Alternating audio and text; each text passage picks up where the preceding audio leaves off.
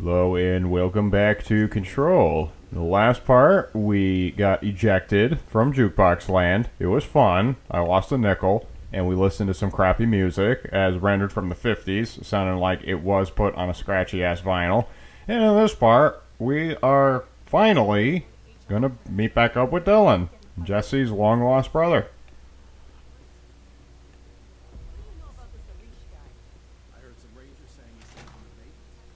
You might want to stay away from that uh, off uh, at the office space style post-it room.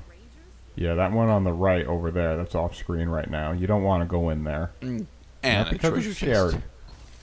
You'll be inundated with post-its. Mm, undefined reading. I mean, that is undefined. So yeah, post-it post-it land. You're gonna want to give a miss for a little bit. We'll we'll see post-it land later. Much much later. Mm, technological restrictions. Ooh.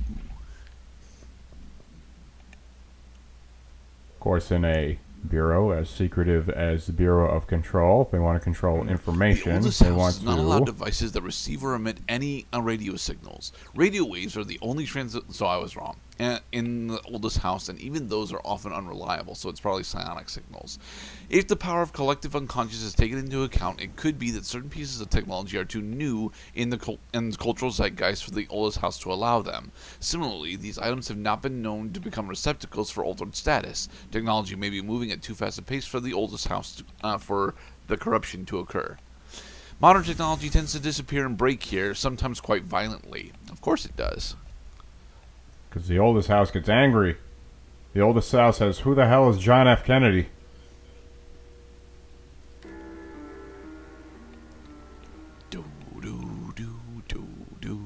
Boring.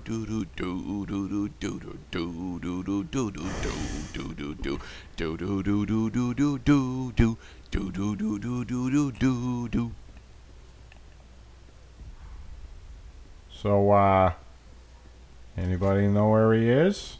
Is it there? There he is. There he is. Uh, you can't miss him. He's floating guy. The thunders understood you. Happiness comes, white pearls, but yellow and red and black. Through all your looking for his new right. So is he actually possessed by Haster? Surface into the way. You've always been No, he's corrupted by the hiss, but as as Emily Pope had described, he's not affected in the same way that the others are. Shit. That's Dylan. Can you hear me? Come on, Dylan. I'm here. Um, Do you know who I am? power of Christ compels you. Say it. You are Dylan Faden's sister. He's talking in the third person. Always a good sign. It is not always a Know good who sign. Sarcasm. Dylan. Trench and Darling made sure of that. I'm P6. P. See? It says it on my shirt. I see it in the mirror, only when I see it there it's backwards. Can you stop that? Please. Not exactly the reunion I'd hoped for. Of course not. Feels good to say those words. I want to say them. They sound good. They make me feel good. Don't you want to say them too? No. There is something oddly real about these crazy things that he's saying. If he is still in there, if there is anything left, you have to help me.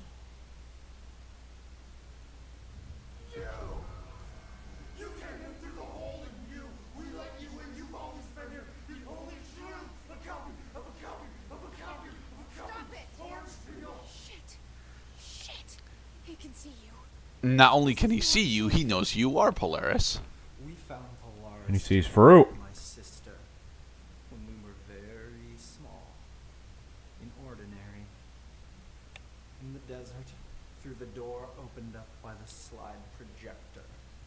Slide projector. She didn't help when Trench took me away. She didn't give me any powers. All the powers are my own powers. She didn't help when they locked me up for years. Hey, come on, we were trying to find you.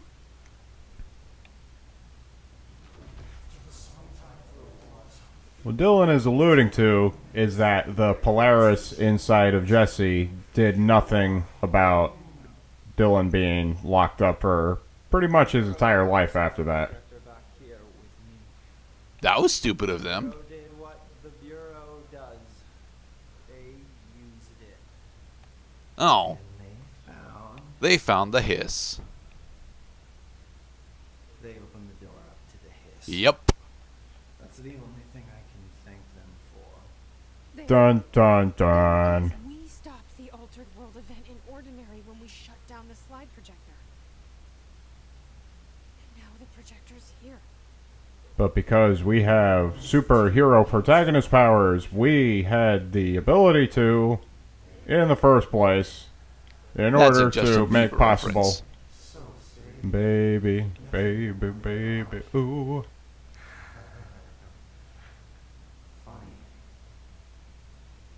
I welcomed the hiss. I let it in. To get rid of her. The hiss set me free. Huh. Interesting that Polaris is female. The Bureau is using you. You are a puppet. You can almost hear our words, but you forget. If we shut off the slide projector, maybe, maybe that will stop the hiss. Maybe it's not too late for my brother. You must see the truth for yourself, Jesse. Sister. The horrible truth about the Bureau. The hiss is the better option. Uh, probably not, honestly. I mean, we're still human under all this shit, so. Salvador wanted me to have it. Wanted? Bullshit. I saw what the hiss did to Salvador. What it turned him into. Okay, Dylan. I'll go. I want to see the truth for myself. I'll go. But only to look for the slide projector. Which was locked from us because it was behind a clearance door. We can end this. Well, we can try to end this, Jesse.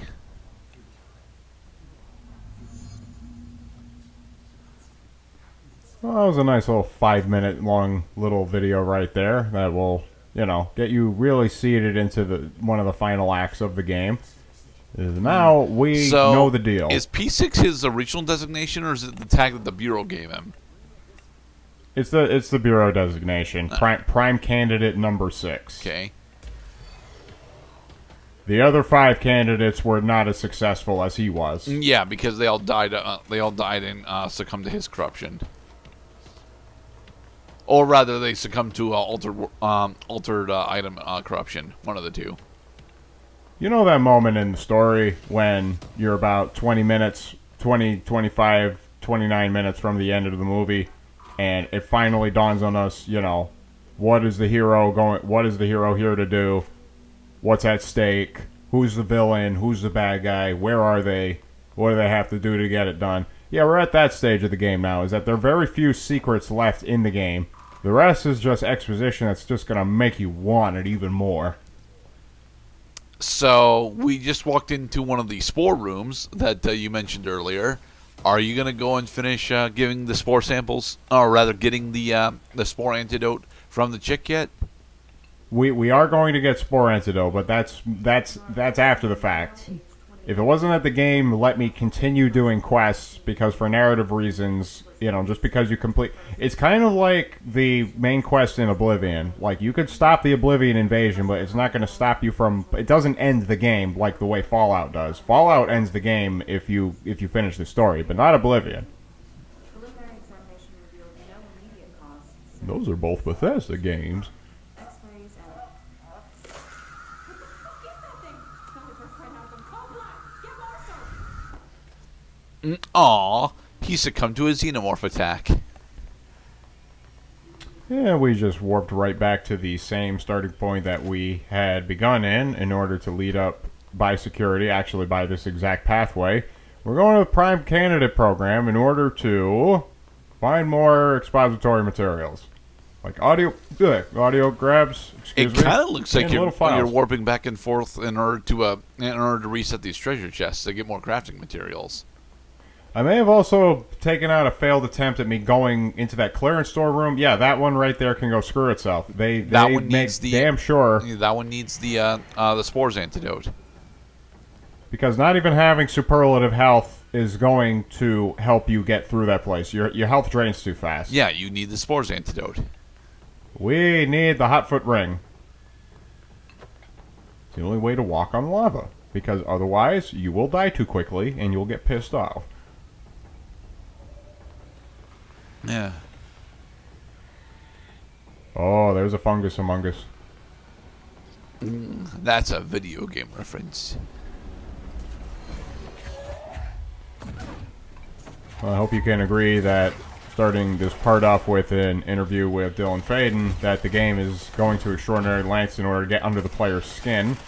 Like Dylan's tendency to look off into the distance instead of making eye contact with the person with whom he's speaking, and then also uh, chanting nonsense to himself while also staring into the ceiling and floating several inches above the ground. Well, he's not actually speaking to Jesse. He's speaking to Polaris, and Polaris doesn't have its own eyes at the moment. He was speaking to Polaris. Which also makes it creepy because we haven't properly, you know, met Polaris yet. Polaris is represented by a little ripple effect around Jesse's head that shows up every now and then whenever Jesse is having an inner dialogue moment.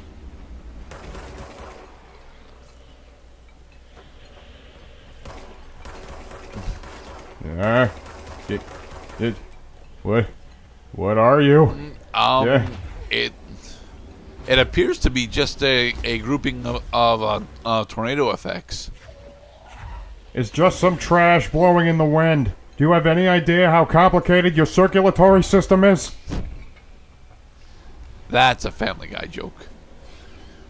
And it was a American Beauty parody. You ever, uh, I have not actually seen see American, American Beauty. Beauty? I know, I know it's um, it's uh, somewhat controversial uh, due to the uh, due to the relationships between specific characters, but that's honestly all I uh, that's honestly all I really know about it. I mean, the only really controversial thing about that movie is that Kevin Spacey's character, you know, fantasizes about fucking a high school chick who's a minor, which ma- which would make it statutory rape in some counties. Most counties. Most counties, yeah. I mean, that's it. Otherwise, I mean, it's not okay. So it, won. It won Best Picture. Kevin Spacey got best got the Best Actor Oscar. I mean, he did do. He he he did put on a pretty good performance because of all the all the all of his characters' idiosyncrasies, like smoking pot and listening to Bob Dylan while lifting weights and shit.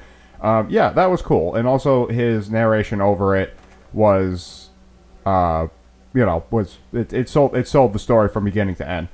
Um, could you have a happy and fulfilling life without ever seeing American Beauty? Absolutely yes. I think that it is 100% a missable movie.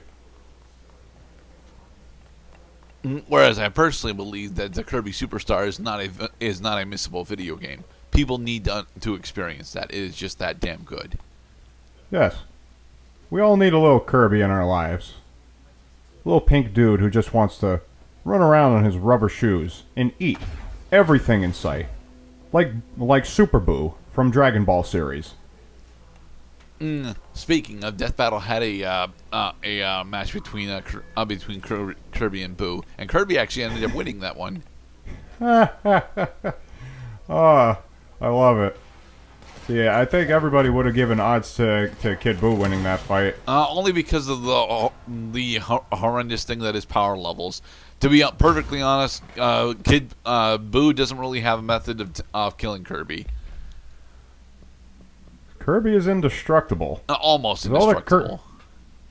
All that Kirby has to do is just eat cake, and donuts, and rice, and chocolates, and watermelon.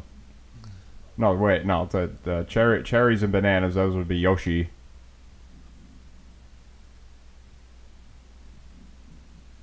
So is uh, uh, so is it supposed to be Miss Carver on the uh, on the redacted statement as well? Well, we don't know what's on the redacted statement, Mr. Gerda. You're just guessing at what it says, and you can be 100% wrong. In the next part, we're going deeper into the prime candidate program in the containment sector. Be safe, everybody.